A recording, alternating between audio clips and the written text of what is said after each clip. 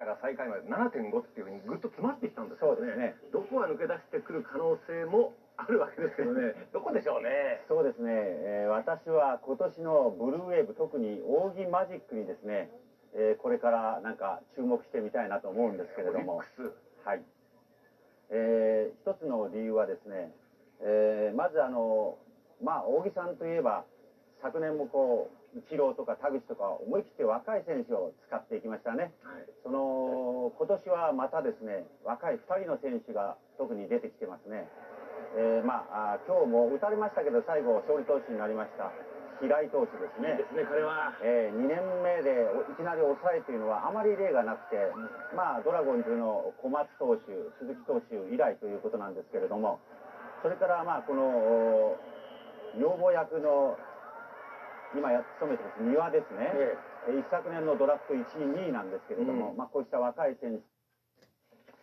休養という